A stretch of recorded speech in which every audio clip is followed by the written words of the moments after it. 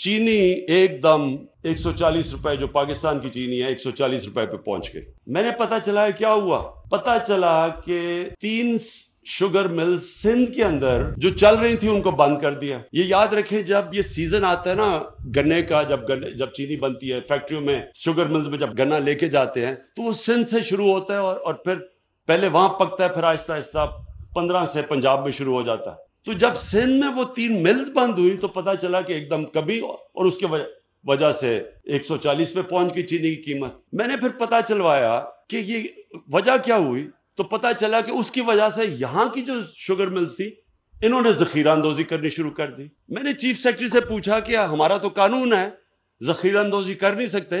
इनकी मिल से जाके अगर ये जखीरा अंदोजी कर रहे हैं तो चीनी उठा के मार्केट में लेके ताकि कीमत नीचे आए। पता चला जी, जुलाई से ये शुगर मिल्स ने स्टे ऑर्डर लिया हुआ है उस कानून के खिलाफ। और इसलिए हमारी हुकूमत कुछ नहीं कर सकती। फिर पता चला, शुगर मिल्स के ऊपर कंपटीशन कमीशन ने 40 अरब रुपए का इन्होंने इनके ऊपर जुर्माना लगाया हुआ है, क्योंकि इन्होंने मिल के कीमतें ऊपर की थी, कार्टलाइजेशन की थी। उसके ऊपर भी स्टे ऑर्डर लिया हुआ है। फिर पता चला कि इन्होंने, एफबीआर ने जो इन्होंने चीनी बेची थी, जो हमारी शुगर कमीशन रिपोर्ट में पता चला कि इन्होंने ऑफ़ बुक्स चीनी बेची थी, यानी कि चोरी करके जो चीनी बेची थी जिसकी रिकॉर्ड सामने आ गया, वो 500 अरब रुपया एफबीआर ने इनके ऊपर लगाया हुआ है कि मजीद इन्होंने टैक्स देना है।